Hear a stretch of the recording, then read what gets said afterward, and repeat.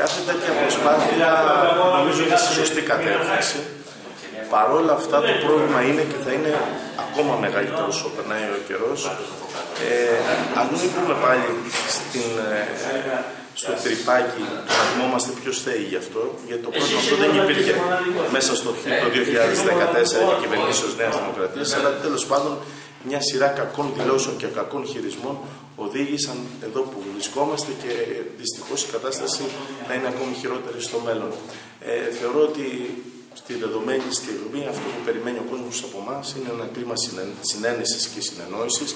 Εμείς έχουμε αποδείξει σαν δύναμη ευθύνης ότι είμαστε διατεθειμένοι όπου μπορούμε να βοηθήσουμε προς την επίλυση ή έστω καλύτερα στη βελτίωση ε, αυτής της κατάστασης που αντιμετωπίζει αυτή τη στιγμή ο τόπος μας. Δυστυχώς όμως βλέπουμε από την πλευρά της ε, κυβέρνησης ε, και ανικανότητα και ιδεολειψίες οι οποίες μας οδηγούν εδώ που βρισκόμαστε σήμερα.